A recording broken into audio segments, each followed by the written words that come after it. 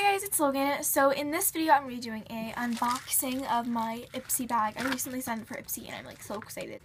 Before I start this video I wanted to show you guys um, this palette that I made. So it's using this old Maybelline palette which I loved dearly and before it got used up. But I just made my own lip things in it.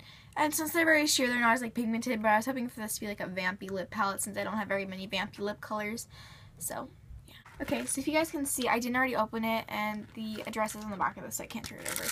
But you guys, I got so excited when I saw this in the driveway. I mean, I got so excited when I saw this in my box. I'm like, oh my gosh. So now I'm trying to open it. Okay, I'm just to use scissors and give up.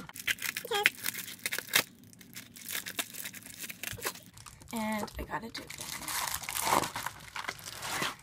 Okay, here we go. So it gave me this really cute card, and it has Ipsy Love on it. Really cute. I think that's this month. Um, and it has just a bunch of this really cute little things in it. Okay, so the bag, I saw it on the website already. I wasn't a fan of this online because I thought this was green, but it's actually gray, and now I think I like this more. And the little tag says Ipsy, and I'm so excited.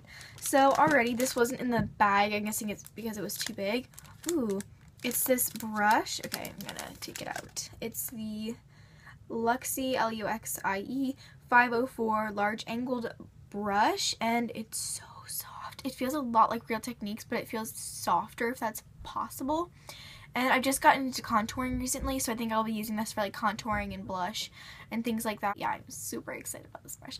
Plus it's pink, so I think that's adorable for Valentine's Day. And this is like a really pretty like coppery color and it's not like the traditional silver which I love. So I'm really excited about that. Now for inside of the bag. Okay, I'm not gonna look, I'm just gonna pull something out. Okay, oops, I think that I think there was a cat, okay. Ah. Okay, so this is the Eva Nye Up All Night Volumizing Spray. It's for added volume and texture, and it protects from heat, styling, and it's for all hair types. Yeah, I like how it protects your hair from heat, styling, because recently I've been straightening my hair more often than I normally do, and I figured it'd be nice if I got something to help me with that. If you can see this, here's the bottle on the side there's this little thing. I think it was like a defect in the packaging. I could probably like pop the hole and there'd be like a like a hole there. So I'm not gonna do that, but that's kind of cool. Next thing I have, this was kind of sticking out. It's Pencil Me In Cosmetics. And this is the Natural Formula Eye Accent Pencil or like a eyeliner. And this one is an amethyst, I guess. I guess it's the color. And I'm really excited, so I'm just gonna open this. But it's really cool because I've never had one of these before. Okay, but it comes with a um, sharpener built into the cap, which is cool. And, ooh, this is a purple.